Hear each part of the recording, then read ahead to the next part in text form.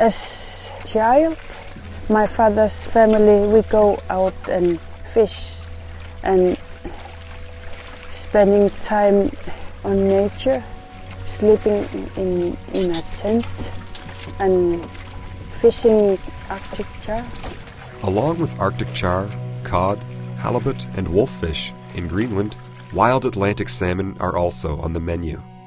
We call salmon in Greenlandic kapisilik. Raven is one of fewer than 400 licensed commercial fishers who can catch and sell wild Atlantic salmon. It is all sold within the country, fresh and frozen at local markets. The last commercial fishery in the world targeting wild Atlantic salmon from North America. So that's how I grew up. So I know fishing a little bit. The Greenland salmon fishery today is small compared to the past. When the legendary conservation angler Lee Wulff took this footage in the 1960s, it was a free for all. Miles of invisible net were strung stretched out just under the surface, scooping up salmon that migrate to Greenland from more than 2,000 rivers in Europe and North America. Wulff filmed aboard a Danish trawler that caught 36,000 large Atlantic salmon in one short trip. As the number of Atlantic salmon returning to home rivers in places like Canada and the United Kingdom dropped off, governments tried to rein in the Greenland fishery. But real solutions were out of reach. So in the 1990s, leading wild salmon conservationists stepped up and negotiated directly with commercial fishers in Greenland to reduce the take. Since then, Greenland salmon conservation agreements have grown and modernized they continue to make a real difference for wild salmon. I've been a um, passionate Atlantic salmon angler since I was 13 or 14 years old. And uh, once I got my driver's license when I was 16, spent every single weekend up on the public water on the Miramichi salmon fishing and have been doing it ever ever since. And I was really lucky, um, really really lucky to get a job with the Atlantic Salmon Federation when I was 27. And you know here I am. 36 years later, feeling still really, really lucky. Uh, I've been able to meld my work life career with what I care about. Well, I was I was very much brought up respecting salmon and observing and studying salmon. And every summer we would travel all over the country. And if we drove over a river, we would have a family quiz and there's salmon in that river. And can you name 10 pools on that river? Uh, so this was my hobby and my passion since I was a kid. Um, so it's that, it's, it's that, you know, core love and respect for the salmon that, that drives me.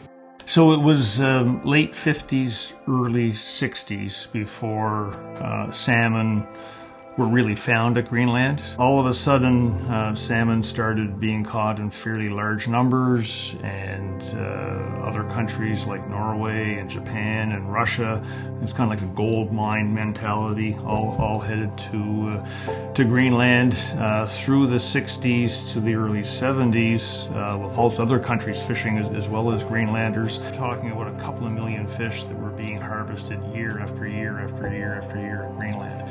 And what they didn't realize at the time was that, that this is not a single stock of fish, but this is what we would call a mixed stock fishery. So you have salmon from more than 2,000 rivers on both sides of the Atlantic gathered to feed. So when when conducting a fishery there, there's there's no way for them to, to target healthy populations because they're all mixed together. So essentially, a, a good day in the fishery in Greenland could wipe out an entire river. So this became a huge concern for, for salmon conservationists around the world. Other countries slowly were taken out of the Greenlandic waters, uh, but it's uh, not been well managed, it's not been well regulated. The overfishing by Japan and Russia and Denmark um, really you know, put Atlantic salmon in trouble. The salmon have never really recovered since, since the early 70s. ASF and NASF wanted a solution that would benefit both Greenlanders and wild salmon. Our goal is not to uh, eliminate the Greenland fishery because the Greenlanders have a right to fish in their own waters, but it's to make sure the fishery is science based, that it's sustainable, um, that the Greenlanders are getting good value, the best possible value for, for the salmon.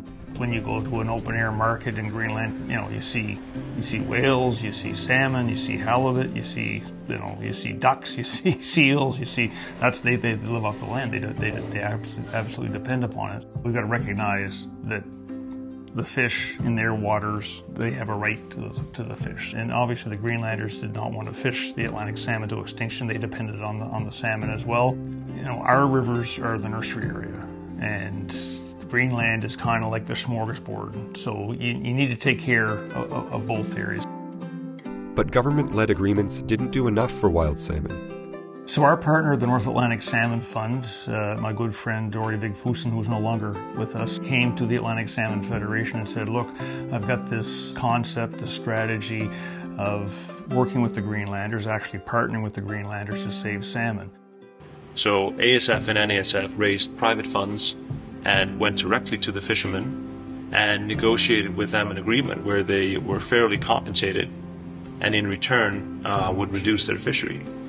So I think this is this is a, a very creative and a very effective way of, of uh, conserving salmon. So it is a partnership, it is a collaboration. We've invested in alternative uh, employment opportunities for the fishermen. We've helped them develop a lumpfish roe fishery, which is now one of Greenland's most lucrative uh, commercial fisheries. We've invested in ecotourism opportunities. We're investing in a modernization of the fishery. Uh, we've invested in real-time reporting. Uh, all of the fishermen, commercial and private in Greenland, now have to have a license. They have to report uh, on time. That's something entirely new. ASF's work in Greenland extends beyond fisheries. Each fall, staff from ASF and its partners travel there to build relationships and conduct research. Since 2018, we've been tagging wild salmon to map the last leg of their incredible migration the journey from feeding grounds in West Greenland back home to natal rivers. In 2023, we began using state of the art environmental DNA technology to test for salmon in Greenlandic rivers, where they are appearing for the first time. Research that will help reveal how wild salmon are adapting to a changing climate. The conservation agreements in Greenland are making a real difference for wild Atlantic salmon. We see a very direct benefit and a very direct result of these agreements. This fishery has gone from hundreds of tons down to 30 tons. NASF and ASF are absolutely making a difference. These agreements in Greenland have saved hundreds of thousands of salmon and will continue to do so. And what was once a, a, very prolific and large fishery is now a small subsistence fishery. As we've seen when our agreements are in place, year after year, more and more salmon coming back. It's just like compounded interest. So as you get more eggs into the gravel, you get more fry, you get more smolt going out, you get more salmon at Greenland, you get more fish coming back when we're able to string together an agreement like the 2002 to 2010, you know, yes, you see improvements right away, but every year that the, agreement's there, the improvements are larger. And right now, we've had our agreement, uh, our current agreement in place for six years. We wanted to go for 12, and we're beginning to see that uh, as, as well, with even you know bigger increases in the large salmon coming back. In my view, it's the best investment that can be made in Atlantic salmon conservation.